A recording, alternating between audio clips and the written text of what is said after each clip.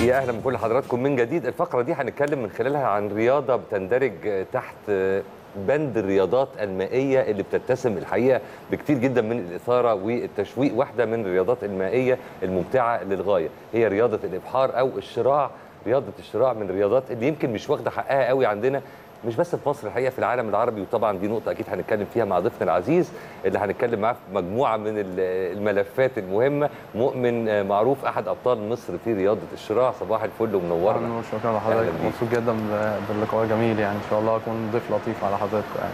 أنت جميل يا مؤمن من غير حاجة ومبسوطين بيك. وقول لي طب أنت بتتابع برنامج قبل ما تيجي ولا؟ أكيد طبعا. ولا قالوا لك 10 الصبح في الأهلي؟ قلت أدخل أعمل search مين دول. أنا بتابع قناه الأهلي بتابع الأهلي يعني يعني بتابع اللي بيحصل ال update كل يوم يعني بتفرج يعني. وأهلاوي قوي؟ آه أكيد طبعا. أيوه اصيل يا مؤمن اصيل فنتابع تقرير مع حضراتكم عن مؤمن ونرجع نكمل.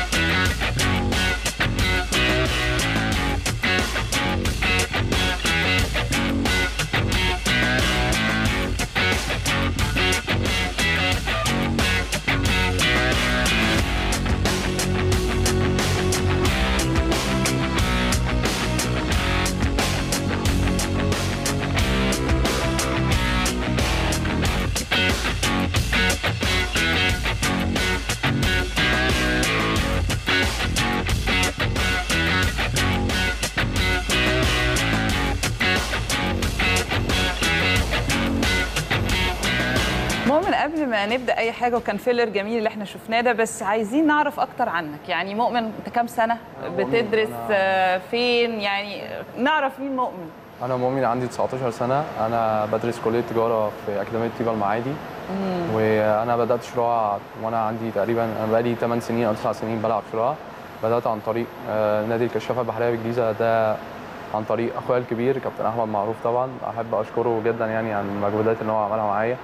أنا في البداية كنت بلعب سباحة بدأت آه، أتجه للسباحة شوية رحت النادي مع أخويا. عرفت يعني إيه رياضة شراع فتعلمت مع في هناك في نادي الشراع اتعلمت رياضات مائيه بلعب كشافة أصلا. يعني في البداية كنت في فريق كشافة في فريق مجموعة مصر بلدنا الكشفية يعني. وبعدين بدأت ألعب sailing فبدأت طراز آه، ال Optimist. هو الش- الشراع كله عموما بيكون طرازات مختلفة بسن معين.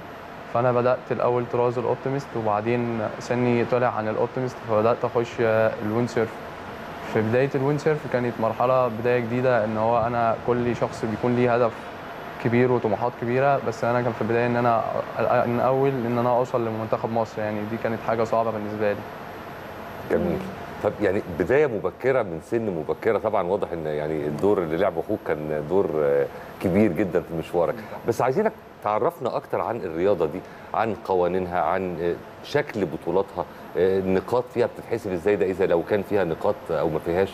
بتمارس فين؟ سواء على صعيد البطولات والمباريات؟ هي ما بيتقالش عليها مباريات بقى بتهيألي. يعني البطولات بت- بت- بتتمارس فين أو بتتلعب فين؟ والتدريبات كمان هل في بحار في أنهار؟ يعني خلفية كده عن أوكي الرياضه دايما بيكون آه، في آه، في الصحيح يعني إن هو بيكون تمرين بيكون في بحر. دي بيكون حاجة كويسة للعيبة رياضه الشراع عموما. بس إحنا حاليا يعني بنتمرن في الاتحاد آه، الاتحاد المصري للشراع في عبد العزيز آل سعود. بيكون في النيل هنا عندنا في مصر. بس فمعظم الأوقات بيكون في معسكرات في في البحار وكده. بطولة الجمهورية بتقام في اسكندرية بنادي الرياضات المائية بالمنتزه وبنادي يخت ال- ال- الاسكندريه وبيكون في بطولات بتتعمل في راس سدر في قرية Moon Beach دي بيكون في راس سدر ومعظم ال- البحر الأحمر يعني. إنما البطولات الداخلية بيكون في النيل أو في اسكندرية. بيبقى في فرق في في ثقل الميه في حاله لو أنت في, في. في النيل أو في بحر مش كده في برضه؟ البحر بيكون ال condition مختلف جدا لأن أنت تلعب في بحر مفتوح عموما أو بيكون فيه موج وبيكون الموضوع مختلف عن النيل تماما يعني. ده الاتجاه الهواء بيكون جاي من اتجاه معين فاحنا دايما بيبقى مختلف عن النيل خالص يعني. بيكون زي ما بقول لحضرتك بيكون البحر مفتوح فأنت عارف الهواء جاي منين أوكي ودارسه وقبل ما تنزل بيكون عامل احتياطاتك لكل حاجة يعني. طب انت شاركت في أولمبياد الشباب بالأرجنتين اللي هي كانت 2018 طيب عايزين نع- نعرف عنك يعني عنها أكتر الأولمبياد دي وانت كان وضعك إيه وقتها وحققت إيه؟ أنا دايما يعني إحنا دايما في البطولات سواء كلاعبين رياضة أو لاعبين منتخب مصر للشراع إحنا دايما بنكون عندنا إن إحنا الروح الرياضية. فدايما مش أنا اللي جبت التأهل للأولمبياد الشباب ده صديق ليا اسمه يوسف ياسر. ده كان جايب التأهل من أفريقيا آه، البطوله الافريقيه اللي كانت معمولة في راس سدر 2018 هو اللي قدر يأهلنا لإن إحنا نروح اليوس أولمبيك جيمز اللي هي كانت في الأرجنتين. ومن خلالها بعد الأولمبياد حصل تصفيات من بطولات الجمهورية والعديد من بطولات العالم. ده كان جزء كبير بعد البطولة على طول بدأنا تصفيات. وأنا اللي كنت يعني في الوضع الحالي بعد البطولة الأفريقية كان مستواي المتف- المرتفع. فكنت دايما مستواي عالي فبدأت أكسب التصفيات فمن ساعة من خلالها قدرت أتأهل ل- لل Youth Olympic Games. في بداية إن إحنا نروح الأولمبياد دي كانت حاجة كبيرة عموما لمصر أو للاتحاد المصري للشراع عموما. طبعا. ان أول مرة أصلا على تاريخ الشراع إن إحنا نتأهل في ال Youth Olympic Games من الشباب في رياضة الشراع كنا متأهلين في الكبار عن طريق كابتن أحمد حبش حضرتك كان ضيف موجود هنا مع حضراتكم. ودي كانت أول هو بداية في لينا. الاتحاد كابتن آه أحمد صح؟ أنا عضو فاكراه طبعا. في فدي كانت بداية كبيرة لينا أو يعني حافز إن إحنا قدرنا نوصل ان إحنا نتأهل للأولمبياد الشباب. وأنا كنت واثق يعني إن أنا نقدر نعمل حاجة بس هو الموضوع في المنافسة في الأولمبياد ده بيكون شيء صعب كبير جدا إن إحنا نجيب ميدالية بس مش بعيد. وإن شاء الله يعني الحلم ال- باريس إن شاء الله بإذن شاء الله بإذن الله. طب. أنا عايز أسألك على المواصفات اللي لازم تكون متوفرة في الشخص عشان يمارس الرياضة دي بشكل احترافي. دي نقطة. النقطة الثانية إلى أي درجة أنت شايف إن ممكن تكون الرياضة دي مهضوم حقها مظلومة مش منتشرة كما ينبغي أن تنتشر ولا أنت مش شايف كده؟ لا أنا شايف ده طبيعي بس أنا يعني أتمنى إن كل الناس تعرف يعني إيه رياضة شراع أو كل الرياضيين اللي نفسهم يحققوا حلمهم. هي رياضة الشراع رياضة ممتعة جدا ورياضة محتاجة تكنيك ومحتاجة ذكاء ومحتاجة استراتيجي كويس إن أنت وخصوصا إن أنت بتبقى لوحدك في المايه يعني يعني لما تبقى في لوحدك لازم القرار اللي هتاخده يا يطلع صح يا يطلع غلط سواء في السباق اللي أنت تلعبيه أو سواء في التمرين اللي بيحصل. فأنت دايما في عالم تاني لوحدك أو القرار الأول والأخير هو بتاعك سواء أنت تطلع صح أو يطلع غلط. بالنسبة لرياضة الشراع أنا أتمنى إن يكون في دعم كافي من وزارة الشباب والرياضة لأن إحنا مش الاتحاد مش مقام على طراز ال windsurf بس اللي هو طراز الشراع اللي أنا بلعبه. هو مقام على طرازات أخرى كتيرة حوالي ست طرازات أو سبع طرازات أخرى. فدايما الدعم بيجي للطرازات دي كلها مش بيجي دعم مخصص بس لل windsurf فده شيء بيكون معجزنا شوية إن المعدات مش بتكون متوفرة في مصر دايما أو في الوطن العربي. فدايما لازم نجيبها من بطولة عالم أو نجيبها من الاتحاد الدولي لل windsurf أو الشراع عموما. فده بيكون صعب إن إحنا نقدر نوفر المعدات أو ال experience بتاعت أنت المعدات بتتكلم هنا. يعني عايز دعم من وزارة الشباب في حتة التمويل يعني بالظبط- بالظبط مش يعني فكرة الاهتمام بس بالظبط. طيب ده هياخدني للسؤال يا مؤمن ويمكن طرحناه قبل كده برضو على أبطالنا اللي هم في الألعاب الفردية إن فكرة ال sponsorship أو الراعي بيكون للألعاب الجماعية أكتر بكتير أو هذه الثقافة يعني بتكون بس عندنا أكتر في الوطن العربي. أنا أتمنى إن يكون في sponsor زي ما حضرتك بتقولي وده هيكون شيء كويس وحافز لينا كرياضيين كبار إن اللعبة عموما مختلفة في حاجات كتير المعدات بتاعتها صعبة إن نوفرها أو صعبة على اللعيب شخصيا إن هو يقدر يجيبها لأن معداتها غالية جدا وكل حاجة تقريبا مش ما بتقدرش بتقيم بال- بالمصري يعني بتقيم بال- بالأجنبي اللي هو الدولار أو اليورو سواء آه، اللبس بتاع الشراع عموما بيكون غالي جدا.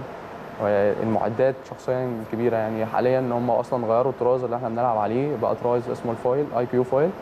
ده المركب حوالي عاملة 7000 يورو وأكتر كمان ده جزء من المركب بس عشان نقدر نحضر. وحاليا لحد دلوقتي الاتحاد بيسعى في إن هو يتواجد بالمركب في, في القاهرة يعني أو عموما كمنتخب مصر إن هو يمارس في رياضة الشراع مرة أخرى يعني بالعدة دي يعني. طب ما فيش مرة من المرات في واحدة من البطولات اللي انت شاركت فيها حصلت نمرة كده ما تتنسيش ذكرى سواء كانت عطرة أو غير عطرة الشراع اتفك البورد اتخرم المايو طار حاجة كده. يعني هو حصل حاجة معانا في في بطولة العالم يعني كنا إحنا دايما رايحين بنروح دايما قبل البطولة بثلاث أربع أيام لأن نكتشف المكان اللي هنلعب فيه بطولة العالم وده بيكون حاجة كويسة إن إحنا نمارس في المية أو نتجه تمرين في يوم أو يومين قبل البطولة ما بيكونش شيء كافي قوي يعني بس يعني بيكون لحد ما كويس. الطيارة هي اللي فاتتنا فكان الموضوع صعب شوية بس. يو أنا اتفادتني طيارة برضه قبل كده. مؤتمر مهم جدا.